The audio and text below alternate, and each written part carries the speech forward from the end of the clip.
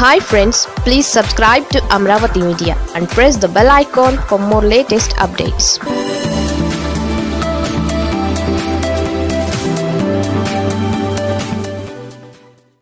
వైసీపీలో కొత్త జోష్ అసెంబ్లీ సమావేశాలతో మారిన పొలిటికల్ సీన్ ఏపీలో రాజకీయం మారుతోంది అని అంతా అంటున్నారు. నిజంగా చూస్తే కొన్ని నెలలుగా మెల్లగా మొదలైన అధికార పార్టీ మీద వ్యతిరేకత అంతకంతకు పెరుగుతోంది అని విశ్లేషణలు ఉన్నాయి.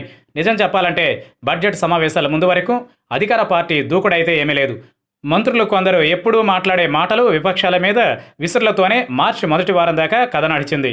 అదే టైంలో విపక్షానికి అద్భుతమైన విజయం ఎక్కడ దక్కింది అంటే అచ్చంగా మూడు రాజధానుల విషయంలోనే. తమ పోరాటం వృధా అవుతుందేమో అని అమరావతి ఉద్యమకారులు కూడా ఒక దశలో అనుకునే పరిస్థితి ఉంది. ఇక జగన్ మొండి పట్టుదలను చూసిన వారు కూడా మూడుకి అంత మూడు ఉందేమో అని అనుమానించారు. ఇక ఏపీలో ప్రధాన పక్షం టీడీపీ కూడా కొంతకాలం పాటు అమరావతి ఊసు తగ్గించేసింది. మిగిలిన రెండు ప్రాంతాలతో బ్యాలెన్స్ చేసుకోవడానికే అదంతా అనుకున్నారు. ఈ సమయంలో హైకోర్టు తుది తీర్పు మాత్రం విపక్షాలకు ఎక్కడ లేని ఆనందాన్ని ఇచ్చింది. ఇక చూస్తే అధికార పక్షం ఫుల్ డిఫెన్స్లో పడిపోయింది. అలాగే ఇక మీదట రాజధాని విషయంలో వైసీపీ నేతలు మూడు అన్న మాట ఎత్తరని అంతా అనుకున్నారు. అమరావతితోనే అంతా అని భావించారు. కానీ అసెంబ్లీలో జగన్ మూడు రాజధానులే తమ అజెండా అని కుండబద్దలు కొట్టారు.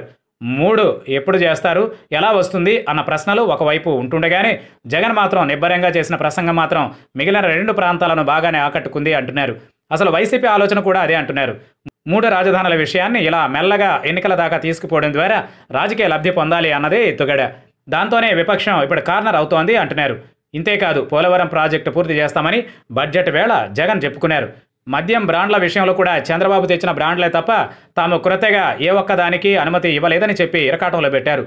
మొత్తానికి చూస్తే చాలా కాలం తరువాత అధికార పార్టీ డిఫెన్స్ నుంచి బయటకు వచ్చి అఫెన్స్ ఆడింది. అది కూడా శాసనసభ వేదికగా చేసుకుని జగన్ ఈసారి ఎక్కువసేపే మాట్లాడారు. ప్రభుత్వ విధానం ఏంటి అన్నది పక్కా క్లారిటీగా వివరించారు. అలా కనుక చూస్తే వైసీపీలో ఇప్పుడు కొత్త జోష్ కనిపిస్తోంది. బడ్జెట్ సమావేశాల ముందు దాకా డేలా పడిన వారు అంతా జగన్ సింగిల్ హ్యాండ్తో పవర్ని మళ్ళీ తెస్తాడు అన్న నమ్మకాన్ని అయితే వ్యక్తం చేస్తున్నారు.